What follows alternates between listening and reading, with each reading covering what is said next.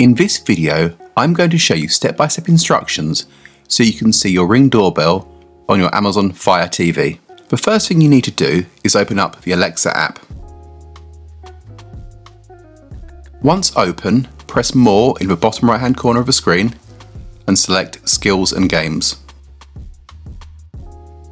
Search for Ring. Select the Ring skill and press Enable to use. It will then ask you if you want to link your Amazon or Ring accounts. I'm going to press Agree and Continue. After a couple of seconds, you'll see that your account has been linked, so press Next. It will now look for devices to connect to, so it's looking for my Ring doorbell. As you can see, it's found my Ring camera, so I'll press Next. You can choose where it is. I'm going to skip this.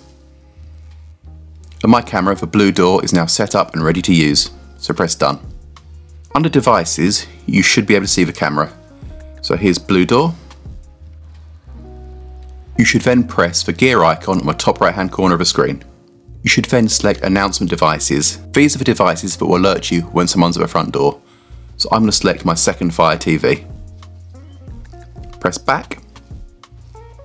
You can have motion announcements turned on and off. As it's on my telly, I tend to keep this off. What you need on is doorbell press announcements. This is what will alert you when someone's at the door.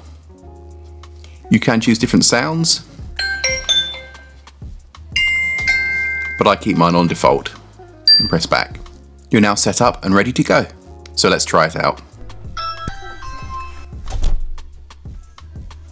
As you can see, after the doorbell was rung, the camera feed was visible in the top right hand corner of the screen.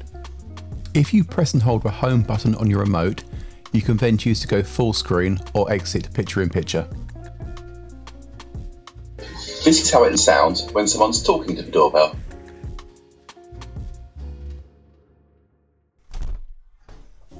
To exit, press and hold home button and select close picture in picture. You can also ask to view a feed at any time.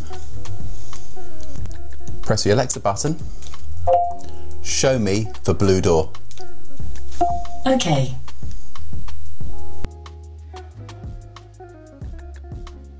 To talk to the person at the door, press and hold the Alexa button. As long as this is pressed, the person at the doorbell will be able to hear you. Is how it sounds for a person at the doorbell. I hope you found this video helpful. If you have, please make sure you like and subscribe as it really helps the channel. Thanks for watching. Bye.